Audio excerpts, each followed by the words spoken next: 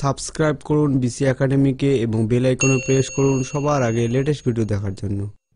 আজকে দশম শ্রেণি অঙ্কের সাত নম্বর ভিডিও এক চলবিষ্ট দ্বিঘাত সমীকরণ চ্যাপ্টারের অঙ্কগুলো চলছে। এর আগের দিন ছয়ের অঙ্ক পর্যন্ত পাঁচের অঙ্ক পর্যন্ত হয়েছিল, আজকে ছয়ের অঙ্কগুলো করব। ছয়ের এক নম্বর অঙ্কটা কি বলছে? নিচের বিবৃতি থেকে এক চলবিষ্ট দ্বিঘাত সমীকরণ গঠন করতে বলছে। জাস্ট সমীকরণটা গঠন করতে বলছে, এক চলো বিষ্ট কি বলছে, একটি আয়তাক্ষেত্রের কর্ণের দৈর্ঘ্য ফিফটিন মিটার, তার প্রস্থ অপেক্ষা, তার দৈর্ঘ্য প্রস্থ অপেক্ষা তিন মিটার বেশি। তো মনে করি তাহলে মনে করি মনে করি প্রস্থ হচ্ছে এক্স মিটার প্রস্থ এক্স মিটার। ধরে নিলাম যে প্রস্থটা এক্স মিটার। এবার তাহলে অতএব আমরা দৈর্ঘ্য কত হবে? দৈর্ঘ্যটা যেহেতু তিন মিটার বেশি অতএব দৈর্ঘ্য হবে দৈর্ঘ্য হবে এক্স প্লাস থ্রি মিটার যেহেতু প্রস্থর থেকে দৈর্ঘ্য তিন মিটার বেশি। এবার বলছে কর্ণের দৈর্ঘ্য পনেরো মিটার তো প্রশ্নানুসারে কর্ণের সূত্র আমরা কি জানি? প্রশ্নানুসারে টু ইন্টু রুট দৈর্ঘ্য যোগ প্রস্থ। টু ইন্টু রুট দৈর্ঘ্য যোগ প্রস্থ। এটা আমরা জানি। দৈর্ঘ্য স্কোয়ার যোগ প্রস্থ স্কোয়ার তো দৈর্ঘ্য স্কোয়ার বলতে এক্স প্লাস থ্রি তার স্কোয়ার যোগ প্রস্থ স্কোয়ার বলতে এক্স স্কোয়ার এটা হচ্ছে আমাদের কর্ণ। আর এখানে কর্ণ কত দেওয়া আছে? পনেরো মিটার দেওয়া আছে। তাহলে পনেরো মিটার করি। এবার উভয় পক্ষে স্কোয়ার করে দিই। এখানে স্কোয়ার করে দেবো, এখানেও স্কোয়ার করে দেবো। কেন স্কোয়ার করে দেবো? যে আমরা দ্বিঘাত সমীকরণ আকারে প্রকাশ করব। অর্থাৎ a x square plus b x plus c এই এখানে আমাদের দিতে হবে। তো বিপক্ষে যদি স্কোয়ার করি, তাহলে এটা ফোর হবে, আর এখানে রুটে উঠে যাবে।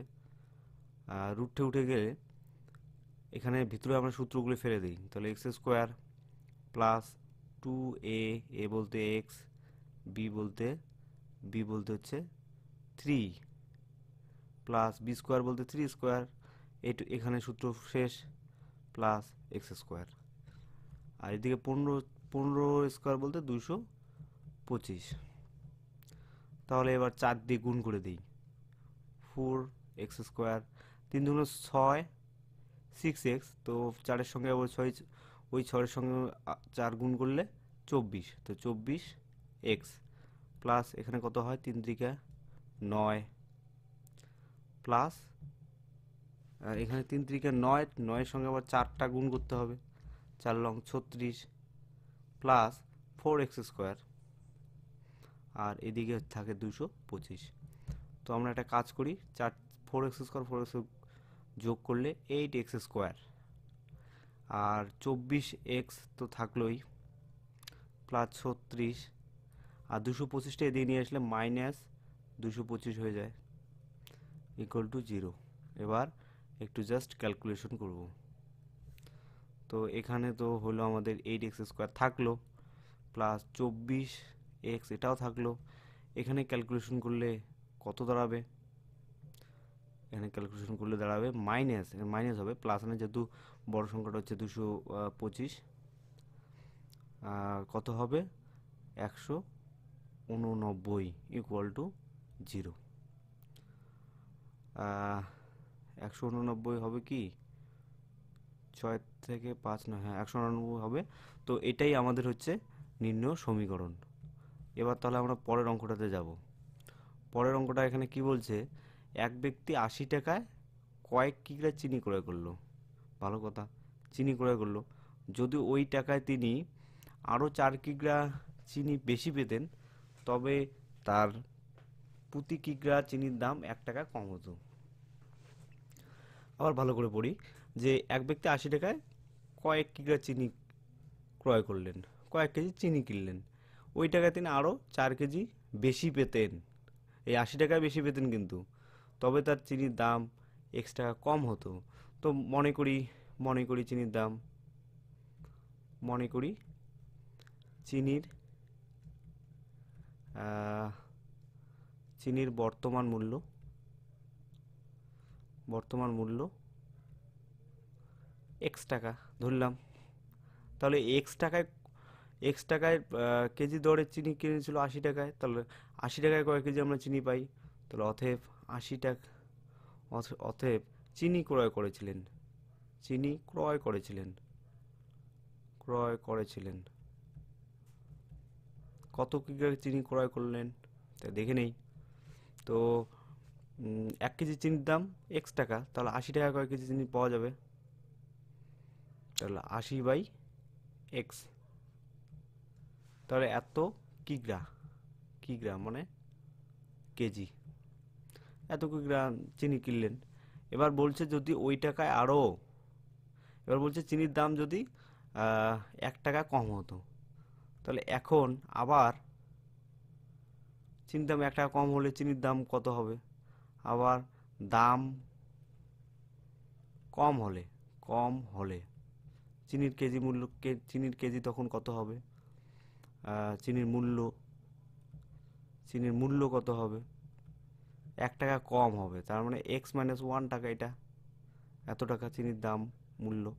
এবার তিনি বলছে আরও চার কিগ্রা চিনি বেশি পেতেন আগে ছিল এত কিগ্রা, এখন কত, কতগুলো চিনি পাওয়া যায়? আশি টাকায় দেখি। এখন চিনি পাওয়া যায়, এখন চিনি পাওয়া যায়, চিনি পাওয়া যায়। তাহলে কত হলো? আশি বাই এক্স মাইনাস ওয়ান এত কিগ্রা কেজি পাওয়া যায়। এবার বলছে যে, ওই টাকায় আরও চার কেজি কিগ্রা বেশি চিনি পেতেন। তাহলে এখানে চিনি কত কেজি বেশি আছে চার কেজি। তাহলে আমরা ইয়ে করে নিই, বিয়োগ করে নিই যে আশি আশি বাই হচ্ছে x minus one x minus one equal to হচ্ছে, ও আশি by x minus one minus আশি বাই এক্স ইকুয়াল টু হচ্ছে চার কেজি। তো এবার আমরা এটাকে বজ্র গুণন মানে কি বলে জাস্ট একটু ক্যালকুলেশন করব, দেখি সমীকরণটা কী আসে। দিকের সমীকরণে আঁকড়া যেহেতু আমাদের প্রকাশ করতে হবে, তো এখানে সমীকরণটা লসগু হলো এক্স মাইনাস ওয়ান তো এখানে আমরা কি করব? এখানে এক্স মাইনাস ওয়ান গেল, তাহলে কত হবে আশি এক্স মাইনাস এক্স এক্স গেল এক্স মাইনাস ওয়ান থাকল। তাহলে আশি into x minus one equal to হচ্ছে এদিকে ফোর এইটু যাতে ক্যালকুলেশন করতে হবে অর আশি এক্স উপরে করি, উপরটাতে। আশি এক্স মাইনাস আশি এক্স প্লাস আশি বাই এখানে একটু গুণ করে দিই। X square minus x x square minus x equal to হচ্ছে ফোর এবার যদি বজ্রগুণ করি, তাহলে কি হবে? Four x square minus four x equal to হচ্ছে আচ্ছা এখানে প্লাস আশি আশি এক্স মাইনাস আশি এক্স কাটা গেল। তাহলে থাকে এইটটি জাস্ট এবার উভয় পক্ষে চার দিয়ে কিন্তু ভাগ যায়। তো ভাগ করি, তাহলে এক্স স্কোয়ার থাকলে এখানে থাকল এক্স আর এখানে চার দিয়ে ভাগ করলে কুড়ি। তো কুড়িটাকে দিয়ে নিয়ে আসি। তাহলে কি হলো? X square minus x plus ও প্লাস কুড়িটা দিয়ে নিয়ে আসলে মাইনাস কুড়ি ইকুয়াল টু জিরো তাহলে এটা আমাদের যে দ্বিঘাত সমীকরণ x square plus b x plus c equal to zero এই সমীকরণের রূপ হয়ে গেল। তাহলে এইটুকু হচ্ছে। তাহলে এখানেই আমাদের অ্যান্সার শেষ। পরে অঙ্কটাতে যাব। কি বলছে? দুটি স্টেশনের মধ্যে দূরত্ব তিনশো তিনশো কিমি। একটি ট্রেন প্রথম স্টেশন থেকে সমবেগে দ্বিতীয় স্টেশনে গেল। একটা স্টেশন থেকে আরেকটা স্টেশনে গেল। ট্রেনটি গতিবেগ ঘন্টায় পাঁচ কিমি বেশি হলে ট্রেনটি দ্বিতীয় স্টেশনে যেতে দুই ঘণ্টা সময় কম লাগতো। তো এটাকে একটু ক্যালকুলেশন চিত্র আট আট করার চেষ্টা করি। এটা একটা স্টেশন স্টেশন এ আর এটা একটা স্টেশন বি তো এ স্টেশন থেকে একটা ট্রেন বি স্টেশনে গেল। তার মধ্যে দূরত্ব আবার দেওয়া আছে তিনশো কিমি।